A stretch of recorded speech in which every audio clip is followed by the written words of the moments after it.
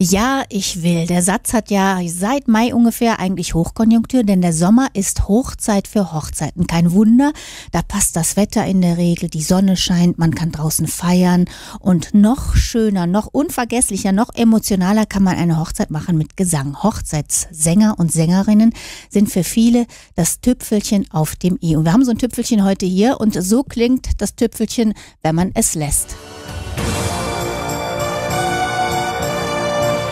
Goldfinger beckons you to enter his web of sin. This is cold. Oh, happy day.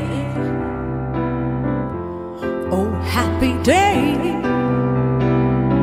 When Jesus won. Oh, when my Jesus won.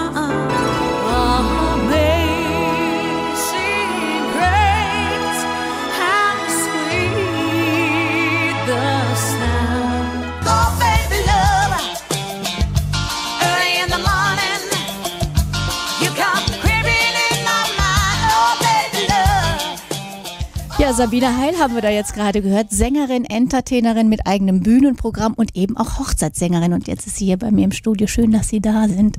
Danke, hallo. Muss man in der Kirche oder im Standesamt ein bisschen zurückschrauben, wenn man dann als Hochzeitssängerin unterwegs ist? Genau, schon eher ein bisschen so die, äh, die ruhigeren Sachen. Aber gefragt. ja, Mhm. Sie sind ja unterwegs auf der Bühne. Sängerin haben eigenes Bühnenprogramm. Wie wird man denn dann Hochzeitssängerin? Aus eigener Entscheidung.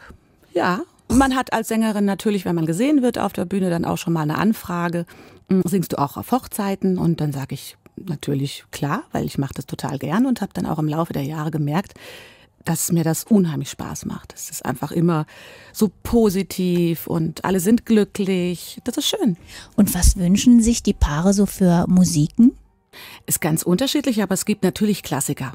Ne, Also Ave Maria, ganz, ganz klar, vor allem natürlich in katholischen Kirchen. Dann äh, Oh Happy Day zum Auszug, auch ganz klassisch und am meisten gewünscht. Und als deutsches Lied wird am meisten gewünscht ähm, Das Beste von Silbermond. Aber auch Halleluja. Fast jede Woche muss ich das singen. Können wir noch mal ganz kurz ein Stück hören? Ja, natürlich. Uneingesungen, unvorbereitet, ganz spontan.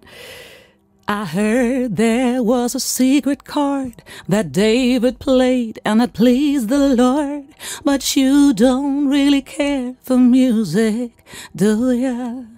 Well, it goes like this the fourth, the fifth, the minor fall, and the major lead. The baffled king composing hallelujah. Wunderschön, wunderschön.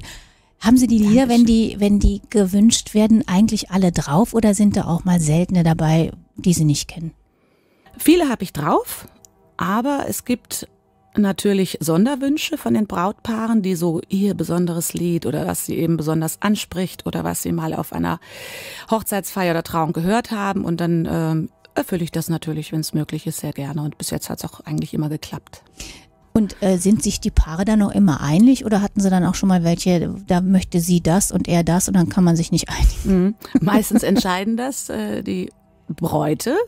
Meistens sind es, genau, sind es die Frauen, ne? die, die Bräute, die das alles organisieren und aussuchen und die setzen sich auch meistens durch.